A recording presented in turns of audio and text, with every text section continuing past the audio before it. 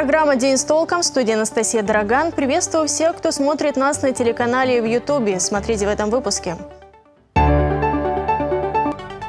Алтайский педагогический вуз вошел в состав учредителей Ассоциации русских школ за рубежом. Что это означает для университета? Российские, советские, бывшие и нынешние десантники сегодня отмечают День ВДВ.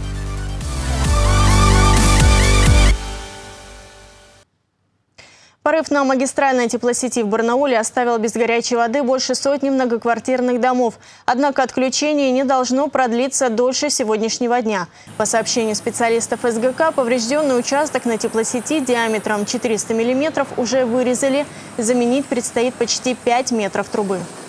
Для ускорения процесса э, будет второй сварщик на этом участке, чтобы оперативно с двух сторон обварить и постараться к 20 часам, может быть 21 запустить данных потребителей. Еще одна крупная авария случилась в Барнауле накануне. В результате ДТП строительный кран снес газовый узел на проспекте Космонавтов, повредив газопровод. Для аварийно-восстановительных работ пришлось перекрыть газораспределительную станцию номер один в районе села Ганьба. В настоящее время движение транспорта по проспекту Космонавтов и улице Солнечная Поляна открыто, а завершить ремонтные работы должны к этому вечеру. Готовность путепровода на новом рынке в Барнауле на сегодняшний день составляет 75%. Второй раз за лето важнейший для горожан объект, завершение строительства которого ждет практически каждый барнаулец, осмотрел губернатор региона Виктор Томенко. Он пообщался с руководством города, подрядчиком и ребятами из строительного отряда, которые работают на объекте. Подробности в сюжете. С последнего визита на объект многое поменялось и визуально, и объемно. Сегодня у нас э, освоение с учетом выданного аванса миллиард триста уже составляет. Непосредственно выполненных работ на миллиард. Застройщик Николай Данилин докладывает губернатору, который был здесь два месяца назад, о ходе строительства важнейшего для Барнаула объекта. Стройка началась еще весной прошлого года. Ради нее пришлось менять движение общественного транспорта, автобусов, троллейбусов, переносить трамвайные пути. Горожане уже привыкли к определенным неудобствам, но с нетерпением ждут завершения работ, которые, к слову, идут по плану. И сейчас объект даже визуально близок к завершению. Есть у нас контракт, в рамках которого мы сегодня работаем. Понятно, объект непростой, сложный. Э, очень сложно дается работа с проектировщиком. Ну и все-таки движение мы обязуемся открыть согласно контракту. Конец ноября. Да, это конец ноября. Сейчас лето, и строительству практически ничего не мешает. Погода вполне комфортная для работы. Губернатор поинтересовался, придется ли корректировать планы, когда сезон сменится на осенний. Температура начнет снижаться, дожди пойдут. Это как-то влияет? Вот для нас сам, самое основное сейчас, чтобы мы все-таки в октябре закончили полностью асфальтирование. В октябре, я думаю, мы все-таки закончим. На строительстве путепровода летом работают и бойцы студенческого отряда «Скифа». Виктор Томенко пообщался с ребятами, которые считают, что работа на объектах такого масштаба – настоящая школа жизни. Будете проезжать уже зимой, я думаю, или проходите, будете видеть мой вклад здесь есть. Так. Это самый популярный вопрос всех наших друзей и знакомых. Они знают, что мы работаем здесь. И самый главный вопрос, когда уже доделаете мост. Говорю, работаем как можем. Когда, когда мы уже все везде объявили, нам сейчас, наверное, главное донести мысль о том, что на сегодняшний день, вот на сегодняшний день, сегодня что у нас, 2 августа, э, у нас нет срывов, у нас нет сбоев, 75% объемов, можно сказать, уже выполнено. Напомню, стоимость путепровода 2 миллиарда рублей. Его строят благодаря привлечению инфраструктурного бюджетного кредита, который выделил федеральный центр. И сегодня же Виктор Томенко сообщил о выделении 140 миллионов рублей на ремонт дорог в восьми муниципалитетах края. Средства получат Белокуриха, Ельцовка, Залесово, Бийск, Заринск, Алтайский и Зминогорские районы. Но что касается строительства путепровода, губернатор поблагодарил барнаульцев за терпение и пообещал, что ответственные сделают все возможное, чтобы горожанам не пришлось терпеть терпеть неудобства дольше, чем запланировано. Татьяна Голубева, день с толком. Алтайский педагогический университет вошел в состав учредителей Ассоциации русских школ за рубежом. Документы о создании сообщества были подписаны в рамках форума «Россия-Африка», который проходил в конце июля в Санкт-Петербурге. Помимо нашего университета, учредителями ассоциации стали еще два вуза. Сообщество создали для содействия изучению русского языка в разных странах мира, как средство международного сотрудничества. Вступить в него могут образовательные или общественные организации, которые ведут свою деятельность на русском языке. Одними из первых представителей ассоциации станут российско-таджикские школы, которые сопровождает Алтайский педагогический университет. Основная задача – это э, координация работы школ целом, координация работы э, педагогических коллективов, э, это унификация подходов, образовательных подходов, методологических, методических к продвижению русского языка и эм, создание такого образовательного пространства, где обучение будет вестись на русском языке и по российским образовательным стандартам. Помимо Таджикистана, школы, где изучают русский язык, существуют в Туркмении и Узбекистане. На очереди Кыргызстан. Наш педагогический вуз пока сопровождает несколько таджикских школ, а скоро будет курировать и Центр открытого образования на русском языке, который создается в столице Афганистана на базе Кабульского политехнического университета. Соглашение об открытии центра подписали еще в июне этого года. Тельняшки и голубые береты заполнили сегодня все города края. В регионе, как и во всей России, праздновали День ВДВ. В бойцы крылатой пехоты свой профессиональный праздник по традиции отгуляли с душой. Подробности далее. Мы отмечаем День образования воздушно-десантных войск России. Территория барнаульской спички сегодня окрашена в цвет неба. Все от мала до велика в тельняшках и голубых беретах. Российские и советские, нынешние и бывшие десантники собрались, чтобы отметить 93-ю годовщину образования элитных войск. На всю жизнь потом несешь это звание десантника. Я горжусь, что я служил в ВДВ. Я очень горжусь своим мужем, что жена десантником. Каждый год сюда приезжаем. С детьми всегда? Да, с да. детьми всегда. Семейный праздник у нас теперь. Слова поздравления от официальных лиц, приветственные телеграммы и противоречивые чувства у присутствующих. Десантники скорбят, вспоминая погибших сослуживцев и радуются, встречаясь с боевыми товарищами. Это действительно святой праздник. Для каждого э, десантника есть 2 августа и еще день рождения. Да, да, да. День рождения, ну и то. Э, на 2 августа больше друзей собирается, чем э, на день рождения.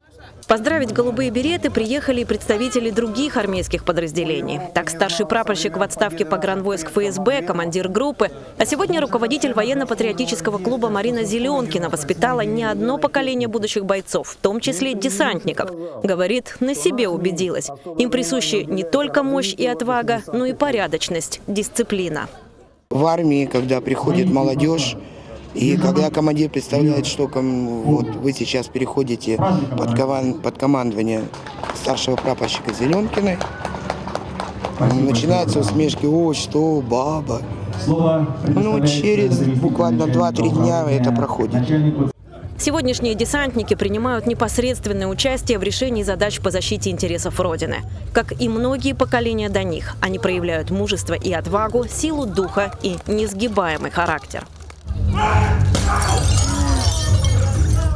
В Барнауле десантура свой праздник отмечала весь день. Как сами про себя говорят голубые береты, мы драться умеем как черти, дружим навеки, а гуляем всегда от души. За за наше небо голубое, за ВДВ, и только все, и только стоя. Елена Макаренко, Владислав Ковалев. День с толком. Туры для алтайских школьников могут появиться в ближайшее время. На организацию таких путешествий операторам выделят бюджетные деньги. Правда, для этого нужно разработать такой туристический маршрут, который будет отвечать определенным критериям. 5 миллионов рублей из федерального бюджета нашему краю выделили по нацпроекту «Туризм и индустрия гостеприимства». Деньги распределят туроператорам, которые предложат лучшие путешествия для школьников с 5 по 9 классы. Обязательное условие – путешествие должно длиться не меньше одного дня, а в программе тура должно быть не меньше трех познавательно-образовательных мероприятий. Это экскурсии, квесты, мастер-классы. Заявки от туроператоров принимает Управление по развитию туризма края. Срок до 9 августа. Добавим, для самих школьников путешествия будут бесплатными. Они получат социальные сертификаты. Продолжим. Она мечтала познакомиться с Павлом Волей и побывать в Диснейленде. Первое желание сбылось, исполнение второго еще впереди. Жительница Бийска Анастасия Балахнина приняла участие в реалити-шоу с Павлом Волей и Лейсан Утяшевой «Выжить в Дубае». Мы вот здесь, вот на этом переходе, как бы, получается, у нас был этот Гранд Люкс, этот наш 500 квадратных метров. 500 квадратных метров. Туалет, как вся наша однушка.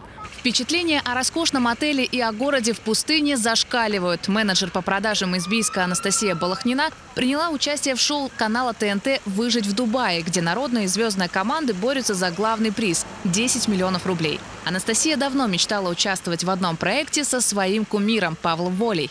В 2019 году я написала список желаний из серии «Никогда не может быть и не про меня». И вот там я написала «Хочу а, работать в проекте с Пашей Волей в 2019 году». Так вот, подходим к самому интересному. Пролистываю ленту и вижу сообщение, где Паша говорит, если ты никогда не был за границей, даже если у тебя нет паспорта за грант, мы ждем тебя. И мне такое было ощущение, что он прям мне это говорил. Увидела, заполнила анкету, записала видеовизитку. На следующий день ей перезвонили, пригласили на следующий этап. А через две недели жительница Бийска уже очутилась в арабской сказке. Причем впервые за границей. Ну, город, ребята, город. Это сказка. Это действительно какая-то восточная сказка. Вот было ощущение, что сейчас откуда-то вылетит Алладин со своей этой Жасмин. И вот прям реально, ну настолько все чисто, аккуратно. Самое сложное не испытание, а палящее солнце. Температура воздуха прогревалась почти до 50 градусов. В такую жару звезды и народники проходили соревнования. Нервы были на пределе. В какой-то момент девушка нелестно выразилась в адрес телеведущего Давы. За такую невольно брошенную фразу на Анастасию обрушился хейт. Он продолжается и по сегодняшний день. Писали, знаете, такую фразу, что какая ты негативная, при этом оскорбляя меня. Э, я анализировала эту ситуацию. Мы, когда смотрим телевизор, мы а, в ком-то видим себя. И те люди, которые негативили в мою сторону, в них есть эта черта, им просто плохо и тяжело это перенести. Дава, к слову, зла не держит, рассказывает Анастасия и добавляет, что это лишь одна фраза, которая совсем не показатель. На сегодняшний день вышло пять серий знойного проекта, но после третьей Анастасии пришлось покинуть проект. Собственная команда поменяла ее на более сильного участника. Несправедливое ощущение было. То есть я не успела показать, на что я способна. Возможно, бы я выиграла. Сегодня Анастасия – счастливая жена, мама двоих детей. Ее узнают на улице, к ней прикованы объективы теле- и фотокамер. И пусть ей не удалось победить в реалити-шоу и потратить выигрыш на мечту детства – поездку в Диснейленд, она безмерно рада, что восточная сказка с ней все-таки случилась. Я это сделала! Ирина Корчегина, Валентина Аскерова, Андрей Сигаев. День с толком. В проекте, в котором участвовала Бейчанка, достаточно соревнований. Чтобы попасть в подобное реалити-шоу и рассчитывать на победу, нужно дружить со спортом, а значит постоянно тренироваться. Мы решили узнать у барнаульцев, есть ли спорт в их жизни, где они предпочитают заниматься и чего им не хватает в городе для ведения здорового образа жизни. Какими видами спорта вы занимаетесь, либо хотели бы в перспективе заниматься? Ну, баскетболом занимался и занимаюсь. А здесь где занимаетесь? Ну, на площадке за домом. Там хорошая площадка. Собираются люди, даже чат есть общедомовой. Все. Списываются, приходят в определенное время и играют в баскетбол. Мы с огородом дружим. Свежий воздух. И на огороде свежий воздух. Там тоже позанимаешься гимнастикой и на растяжку, и на подтяжку, и на все на свете. У меня, знаете, у меня работы хватает, вот этого физкультуры на работе. Работу на АВЗ И там каждый день физкультура. Каждый день. А что делаете? Ну, кидаем, бросаем, считаем каждую деталь. Вот, вот тебе физкультура. Как говорят, чем ближе взял, дальше кинул. Никаким не занимаюсь. А каким, может быть, хотели бы? Волейбол, баскетбол, что-нибудь такое. А что останавливает? Времени не хватает на это. Дорожек нету беговых. Не сильно развит в этом плане у нас город. Вот. И, наверное, беговые дорожки нужны. Велодорожки очень нужны, чтобы заниматься спортом. В изумрудном желательно пошире дорожки. Да, да, велодорожки пошире. Потому что там одна дорожка разделена на две части. Одна, на пеше... одна для пешеходов, вторая для велосипедистов. И они обе узкие. Там не, не могут разминуться люди. И что в Барнаулу не хватает, чтобы он был более развит спортивно? Ну, я думаю, стадионов не хватает. И побольше бы площадок футбольных, этих хоккейных. И к новостям спорта. Футболисты спортивной школы Алексея Смертина «Алтай» продолжают свое выступление в юношеской футбольной лиге. Это их первый сезон в рамках лиги, и стабильно он не проходит. Чем закончилась очередная встреча с омской командой «Иртыш», расскажет Дмитрий Дроздов. Сфокусировались на игроках, но забыли про мяч. Именно так свою игру в 13-м туре юношеской футбольной лиги начал омский Иртыш. Алтайские парни взяли контроль игры под себя. Правда, полностью реализовать это преимущество у хозяев не вышло. В первом тайме барнаульцы забили только один гол. Я считаю, при 1-0 в первом тайме реализую еще там, хотя бы один момент там, из трех-четырех, я думаю, результат мог быть, быть совершенно другим. Это уже вторая встреча с амичами. Первая завершилась умопомрачительной победой 8-0. Но сезон нельзя назвать стабильным. Есть и победы, и глупые поражения. У тренерского штаба Алтая небольшие вопросы к нападающим. Мало ударов по воротам. Но, отмечаю, с каждой игрой парни растут. Но не забиваешь ты, забивают тебе. Грубая ошибка защитника Алтая, и игрок Иртыша воспользовался ситуацией.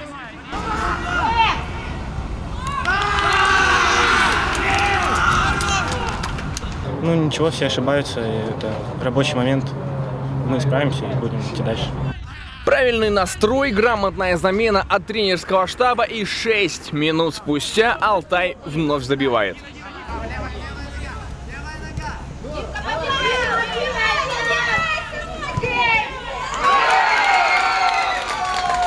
Планировали как бы играть э, в комбинационный футбол, больше с контролем мяча. Понятно, что мы с соперником в первом круге встречались и проиграли обидно 0-8 у себя дома. Сейчас хотели реабилитироваться и как бы ну, не все получилось, но много нереализованных моментов. А так ребята сегодня старались играть в пас.